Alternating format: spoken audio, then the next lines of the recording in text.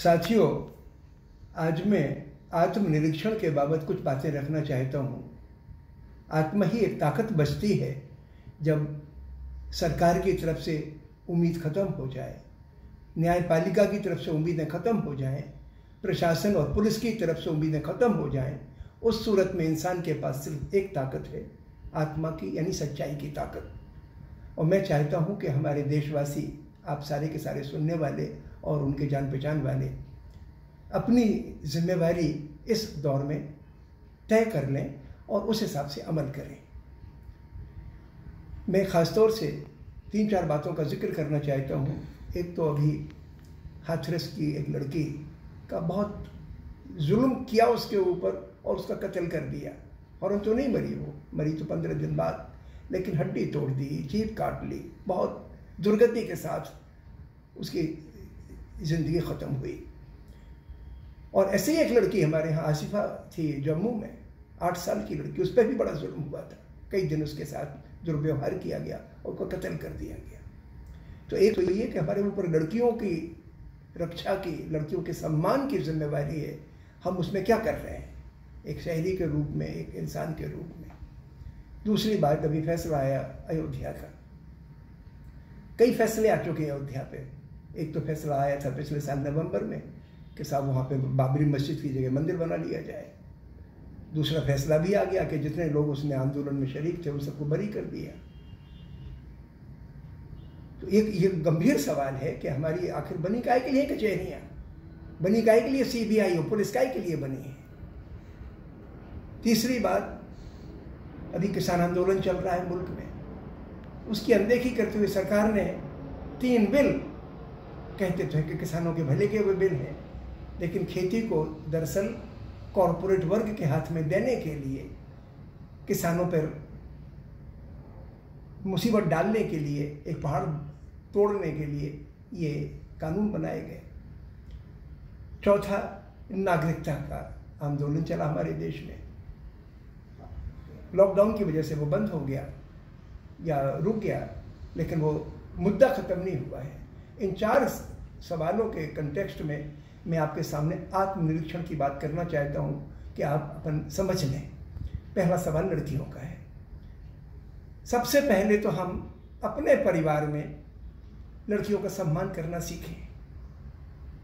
लड़के लड़की का फ़र्क करना बंद करें और अगर हमारा लड़का समाज में किसी लड़की के साथ दुर्व्यवहार करता है तो हम उसको शाबाशी ना दें। हम बहुत बड़े अपराधी बन जाते हैं जिस वक्त हम शह देते हैं बच्चों को गलत काम करने की। तो ये हमारी अहम जिम्मेवारी है। हमारे परिवार के अलावा हमारे गाँव में भी अगर कुछ बच्चे कुएँ में बैठ के, पेड़ों के नीचे बैठ के पत्तियाँ कसते हैं, जलील करते हैं लड़कियों को तो हम उसकी अनदेखी ना करें। अपने गाँव की लड़कियों की के सम्मान और सुरक्षा की जिम्मेवारी हमारे, हम सब की है। अपने मोहल्ले में हम इस बात पर अमल करें, गुंडों से डरे नहीं। और यही हालत दिल्ली की मैंने बस्तियों में देखा है, जो झुकी बस्तियाँ हैं और गाँव में बस्तियाँ हैं, उनमें साफ़ साफ़ पता लगता है कि लड़कियों को या आदमियों को सुरक्षा पुलिस की तरफ़ से बिल्कुल नहीं है। सिर्फ़ आपसी संबंधों की वजह से वो सुरक्षित हैं। तो ऐसे लोगों के लिए न केवल लड़कियाँ, बल्कि उनके परिवार के तमाम सदस्य गरीबी की वजह से गुंडों की कातिलाना हरकतों का शिकार बन जाते हैं। लिहाजा हमारा फ़र्ज़ है जो लोग ज़रा सी भी पढ़े लिखे या खाते पीते लोग हैं, वो लोग इस मामले में कदम आगे बढ़ाएँ। और जिनके पास कुछ भी नहीं है पढ़ाई लिखाई की ताकत नहीं है, दौलत की ताकत भी नहीं है, वो हौसले से अपने परिवार की, अपने आसपास के लोगों की हिफाजत करने की आत्मशक्ति पैदा करें। तो आत्मनिरीक्षण का इस कंटेक्स्ट से मेरा कहना ये है। दूसरा ये कि हम हुकूमत पर, ये जिम्मेवारी सरकार की है, ये सारे के सारे जो क्राइम हो रहे हैं, ये सरकार की शय पे हो रहे हैं। मैं बताता हूँ कैसे।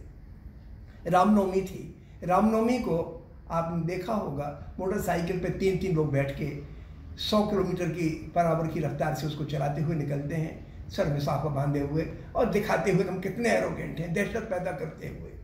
ये वही लोग हैं जो शराब भी पीते हैं, जुआ भी खेलते हैं जिस चाय की इज़्ज़त लूट लेते हैं, लिंचिंग करते हैं। मुसलमानों को ज़्यादा करते हैं, दलितों की भी करते हैं, फिर लेकिन दूसरी जाति की लड़कियों की भी करते हैं, लड़कों की भी करते हैं। और इनको पॉलिटिकल प्रोटेक्शन मिला हुआ है, क्योंकि इनकी वजह से समाज में दहशत का माहौल होता है तो वो पार्टियाँ जो घृणा पर पनपती हैं हुकूमत हासिल करती हैं, उनके लिए इनसे शय मिलती है, उनको ताकत मिलती है, वोट मिलता है।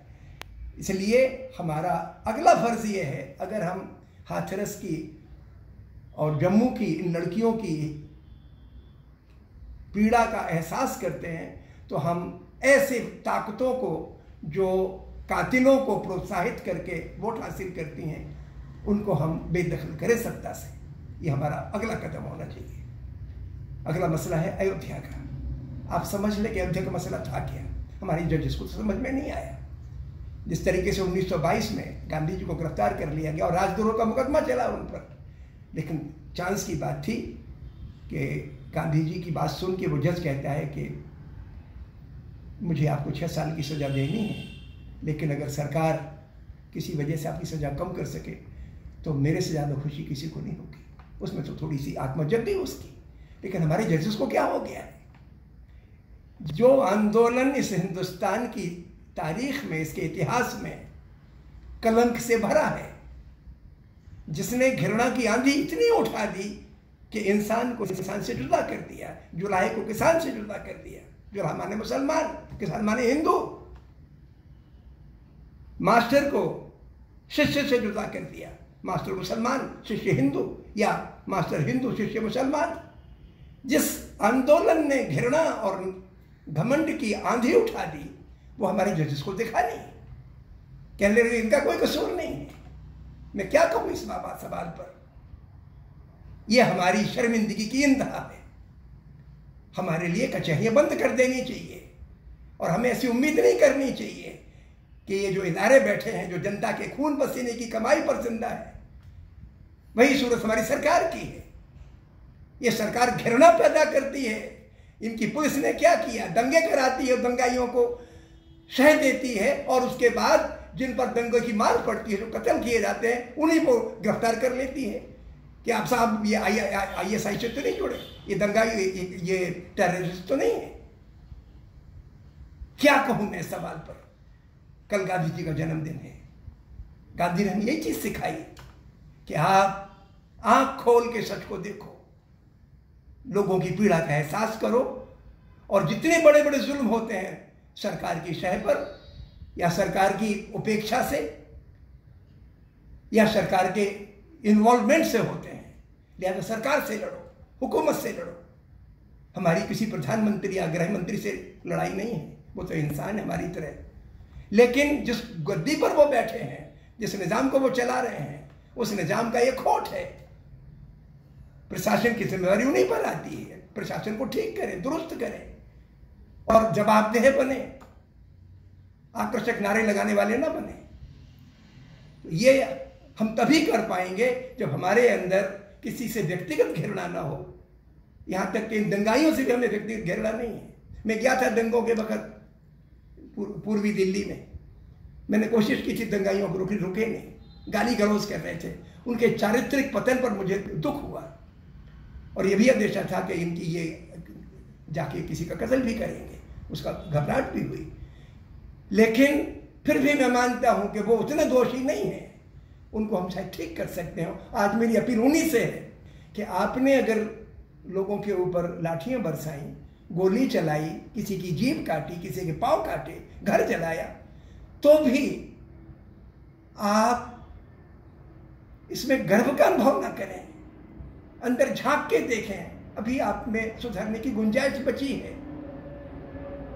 उन लोगों के कहे, बहकावे में आप अपना चारित्रिक पतन ना करें, अपनी आत्मा को ना मारें, जिनको आपके इन एक्टिविटीज़ की वजह से हुकूमत मिलती है।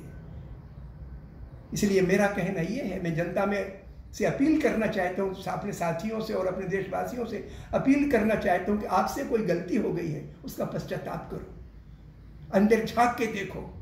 मालिक आप में बहुत बड़ी ताकत देगा। आप एक एक बच्चा हमारे मुल्क का, भगत सिंह और गांधी है। आप अपना कद क्यों नीचे गिरा रहे हो? जिनके पास कोई ताकत नहीं है, उन पर अपना ज़ोर आजमाना कोई बहादुरी तो नहीं है। प्रधानमंत्री ने कुछ कह दिया गृह मंत्री ने कुछ कह दिया, कुछ संगठनों के उत्तेजक नेताओं ने कुछ कह दिया और अब बहक गए उनको तो कुछ बिगड़ा नहीं। हालाँकि उनकी भी आत्मा मर गई, लेकिन वो तो उनका काम है। लेकिन आप तो मिट्टी में मिल गए। आपको क्या हासिल हुआ?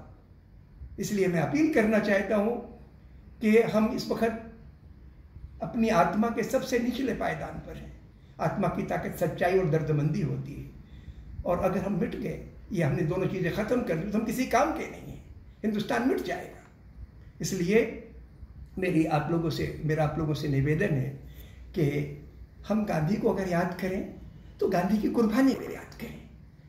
गांधी की शिद्दत से जेल जाता था, उसको याद करें। गांधी ने किस तरीके से हिंदुस्तान की मिट्टी के, मिट्टी में से शेर पैदा कर दिए? मेरे पिताजी चौथी क्लास तक पढ़े थे। गांधी के संपर्क में आए तो आज़ादी की लड़ाई में जेल जाने लग गए। अहमद पहलवान भी कम पढ़े लिखे थे। पहलवान तो हालाँकि उत्तर प्रदेश सबसे बड़े पहलवान थे। उन्होंने अखाड़ों में सत्याग्रह पैदा करना चालू कर दिया। तो गांधी तो वो शख्स था जिसने मिट्टी में से इंसान पैदा किए और जब हम उसको याद करें तो हमारे सामने बहुत बड़ी चुनौती है कि जब सारी की सारी ताकतें हमारी, ऊपरी ताकतें, दौलत की ताकतें सांप्रदायिक हो गई, सत्ता बिल्कुल डिवाइसिव और इंपीरियलिस्टिक हो गई, तोड़ने वाली और धोस जमाने वाली हो गई। मीडिया हमारे यहाँ का बिल्कुल बेखबर हो गया। सरकार की हम यहाँ मिलाने वाला हो गया। ऐसी सूरत में मालिक ने अपन में एक ताकत दी है, सच्चाई की ताकत, आत्मा की ताकत। हम उसको ज़िंदा करें। और अगर हम ऐसा करेंगे, हम देश की सेवा करेंगे और मानव जाति की सेवा करेंगे। बहुत बहुत शुक्रिया।